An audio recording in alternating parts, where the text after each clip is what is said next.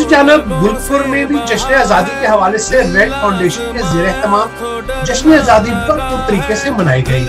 اس موقع پر بچوں نے ملی نغمے پیش کیے اور ریلی نکالی۔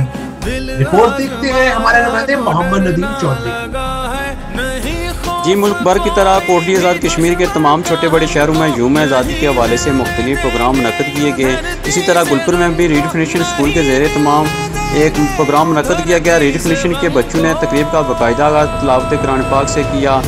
بچوں نے ہاتھوں میں پاکستان اور کشمیر کے پرچم تھامے ملی نغمہ پیش کیا۔ اس کے بعد ریلی نکالی گئی جس نے پورے بازار کا چکر لگایا اور جشن آزادی کی صدائیں بلند کرتے رکھے۔ بچوں نے مختلف پروگرام بھی پیش کیے اور بعد ازاں چھوٹے چھوٹے ننے انہیں بچوں نے اپنے کمنٹس بھی دیے۔ دل دل پاکستان۔ دل دل پاکستان۔ دل دل پاکستان۔ دل دل پاکستان۔ دل دل پاکستان۔ دل دل پاکستان۔ یوم آزادی مبارک۔ یوم آزادی مبارک۔ یوم آزادی مبارک۔ دل دل پاکستان۔ یوم آزادی مبارک۔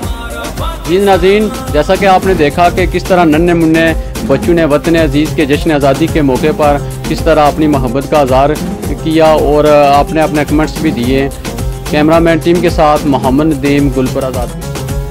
وزیر آباد ٹی وی کی طرف سے وزیر آباد اور